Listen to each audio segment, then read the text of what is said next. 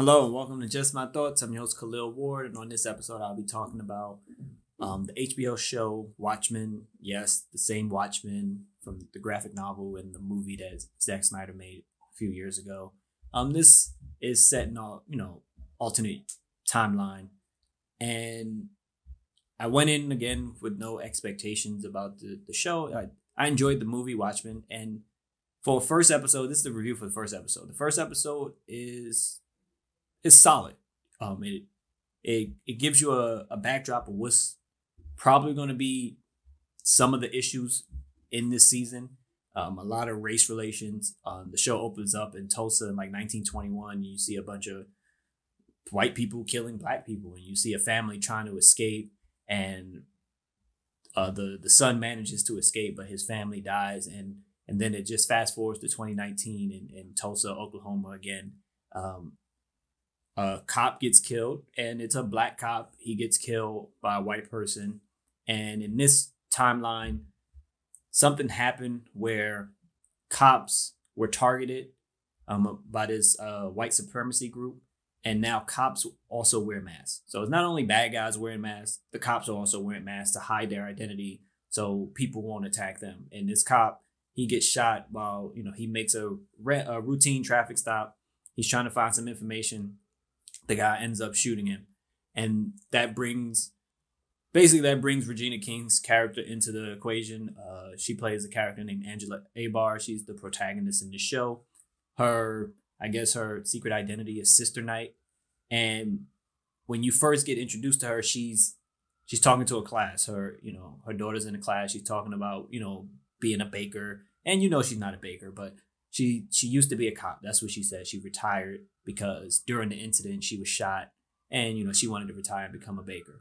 So it's been three years of peace between the police and this group called the Seventh Kavalry, which is the white supremacy group. But all of a sudden, they kill it. They kill the cop, and now they trying to find out where these people are hiding, why they're coming back right now, and you get the the foundation of I guess the series.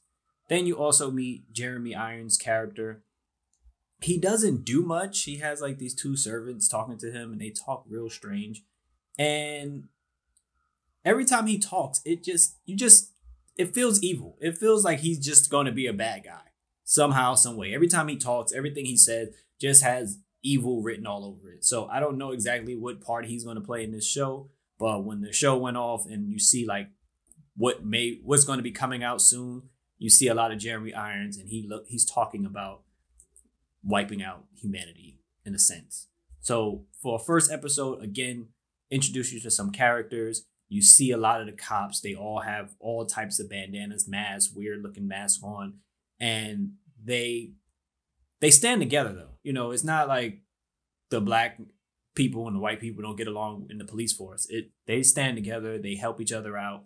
Um, also, like police force is is different. Like the cop trying he tries to get his gun but like they can't even use their guns. They have to talk to someone to get their guns like activated. So violence played a part in this alternate timeline. Like it had to be heavy violence for it to be a situation where the cop can't even draw his weapon. He has to call in to draw his weapon. So it's a lot of that in this first episode. And it ends on like a i want to say a cliffhanger where you're like okay i want to know more how did this happen why did this happen and i'm in uh, so for first episode, I'm in. I want to know what's going to happen next. I'm intrigued uh, to see more about Regina King's character. Um, she has her own family.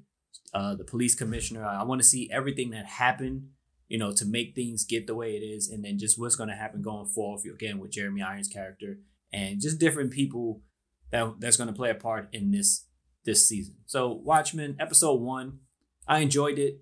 Um, it wasn't over the top. It wasn't too much information to take in. You don't have to be a fan of Watchmen to watch this show, uh, but it's a step in the right direction, you know, for this series. So check it out. It's on HBO. Thank you for listening. Deuces.